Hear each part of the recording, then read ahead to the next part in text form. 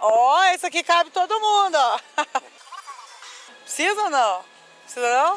E mais um prêmio aqui para a cidade de Poços de Caldas. Cadê a galera animada? Dessa vez o quarto sorteio um Fiat Argo que tá indo para a garagem do Sebastião, não é isso, Sebastião? Isso, Você vai pegar o dinheiro ou o carro? é o dinheiro.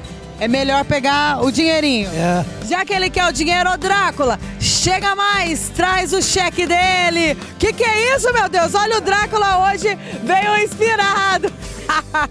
Eu achei que nasceram. nasceram ali.